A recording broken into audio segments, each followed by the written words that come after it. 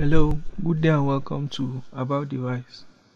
Today we are going to be learning how to load Google Analytics locally on our WordPress website.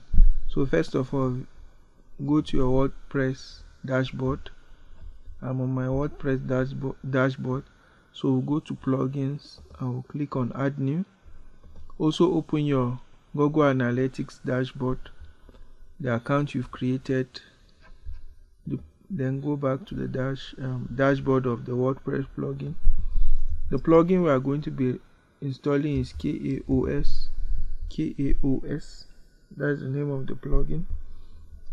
So you can see it CAOS. That is host Google Analytics locally.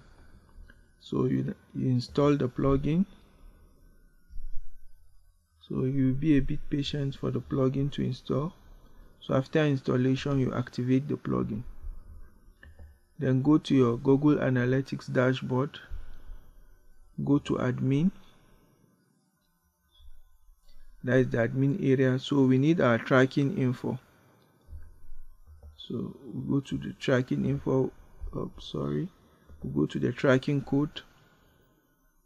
So this is the number we need, the tracking ID so you need to get your tracking id so you copy the tracking id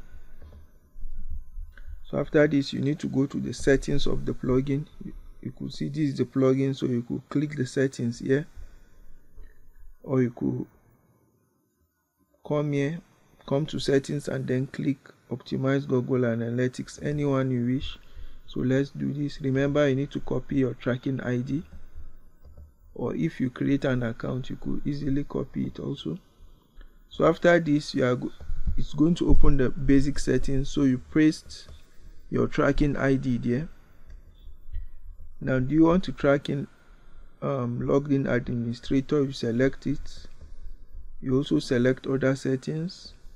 You want to be as asynchronous default or minimal analytics? So anyone you wish. So anyone you wish you could use. Right now I want to change mine to minimal analytics because it's faster and all I use um, page um, what um, Google Analytics for is for what? Page view and events. So after this you want to anonymize the IP depending on the rules in your nation or laws you will be required to an anonymize the IP and where do you want it to be loaded? Either footer or so after this you save you save settings. So I want to check why I want to use the minimal analytics. So after this we need to go to so I've saved my settings. No, after say no not extensions. Uh, we'll go to extension normally. Normally I like to add a, an adjusted bounce rate in order to capture the real bounce rate. So which is 30 you could choose plugin do you want to enable stealth mode and other settings here? Do you want to track ad blockers? So all this you could do it and after you've done this you save changes and immediately it will begin to track your users as you can see. You can see now i have one active user on my site. That is to tell you that it's beginning to track my user.